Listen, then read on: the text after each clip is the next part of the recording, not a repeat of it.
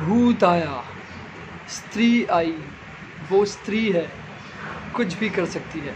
आपको याद है ना स्त्री, जिसमें आपने एक ज़बरदस्त कलाकार को देखा था, पंकज त्रिपाठी को इसी के साथ में राजकुमार राव और श्रद्धा कपूर थी उस मूवी के अंदर जिसका नाम था स्त्री।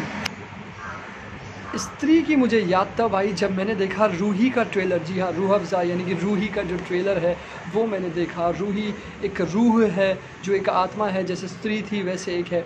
कहीं ना कहीं मुझे लगा कि इस मूवी को भी बनाया जा रहा है स्त्री की तरह, यानी कि स्त्री रिटर्न्स क्या ये स्त्री रिटर्न है? क्या ये स्त्री की जो सेकेंड पार्ट यानी कि जो पार्ट टू निकलता है, क्या ये वो है? चलिए बात करते हैं इसके बारे में, इसके ट्रेलर के बारे में।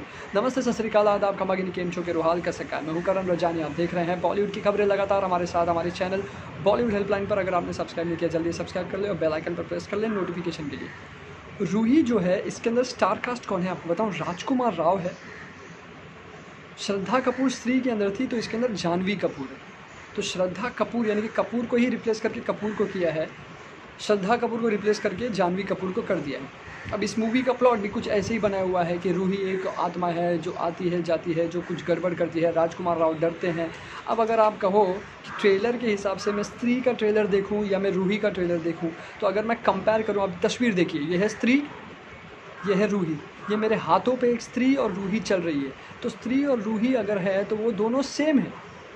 दोनों भी सेम है तो मैं इसमें क्या अलग देखूँगा? अब तक तो ये ट्रेलर जो आया है, उसके हिसाब से कहीं ना कहीं तो मुझे ये पूरी मूवी सेम लग रही है।